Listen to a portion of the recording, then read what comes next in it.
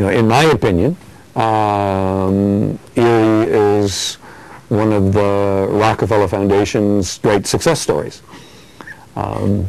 you know, the, the whole idea for IRRI uh, came out of the Rockefeller Foundation, was, was based on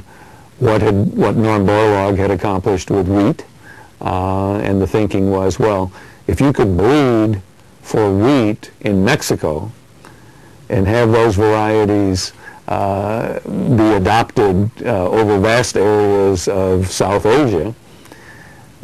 maybe you can breed for rice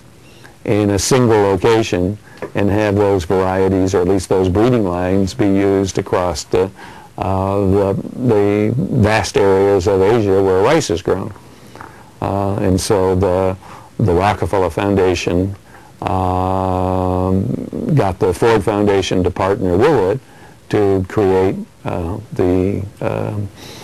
uh, International Rice Research Institute, and within three or four years, uh, the first variety, IR8, was uh, coming out, um, had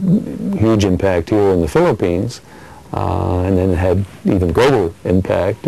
through throughout South Asia and other regions.